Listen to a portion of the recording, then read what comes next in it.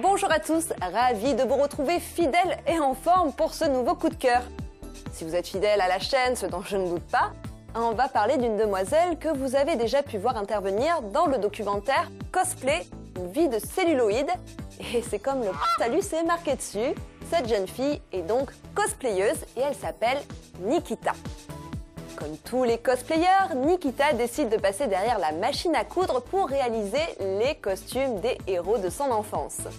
Mais elle aime aussi la scène et ses 14 années de danse vont pas mal l'aider pour réaliser ses performances scéniques. En 2006, elle franchit le cap et commence dès l'année suivante à participer à des concours. Il aura suffi de deux toutes petites années pour la voir partir au Japon en compagnie de sa fidèle amie et partenaire de cosplay, CK, pour représenter la France lors de la grande messe mondiale du cosplay, le World Cosplay Summit. C'est avec cette même amie qu'en 2010, elles seront quatrième dans le classement mondial. Pas mal les Frenchies.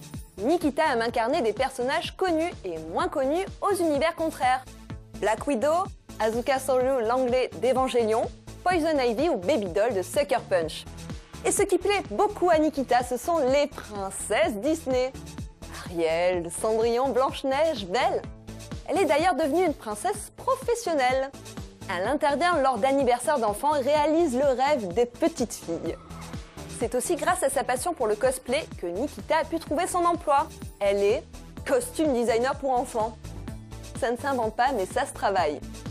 Son sourire, sa passion et la qualité extrême de ses travaux séduisent de plus en plus d'internautes et ils sont plus de 20 000 à la suivre aujourd'hui. Likez-la dès maintenant pour suivre son travail et allez l'admirer lors des conventions. Et puis, euh, likez-moi parce que je suis quand même sympa et même si je fais pas de cosplay. Hein, et puis, euh, la page de l'émission aussi, hein, un petit euh, tir groupé, hop hop hop. Allez, je vous dis salut et à bientôt. Bye.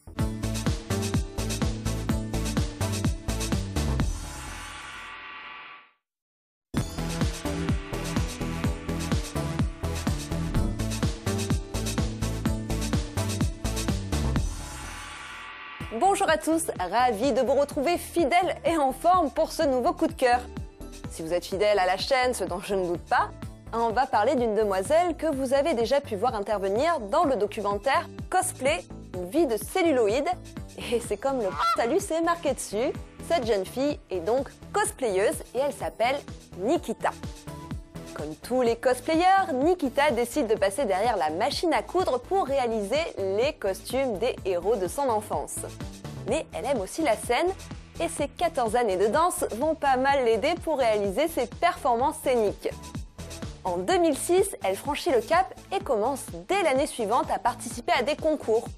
Il aura suffi de deux toutes petites années pour la voir partir au Japon en compagnie de sa fidèle amie et partenaire de cosplay, CK, pour représenter la France lors de la grande messe mondiale du cosplay, le World Cosplay Summit.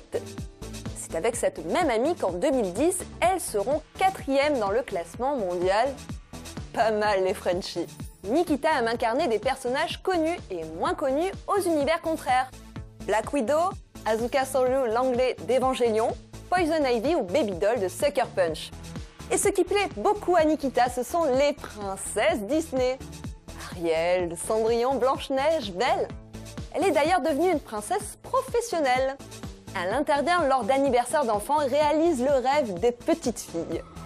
C'est aussi grâce à sa passion pour le cosplay que Nikita a pu trouver son emploi. Elle est costume designer pour enfants. Ça ne s'invente pas, mais ça se travaille. Son sourire, sa passion et la qualité extrême de ses travaux séduisent de plus en plus d'internautes et ils sont plus de 20 000 à la suivre aujourd'hui. Likez-la dès maintenant pour suivre son travail et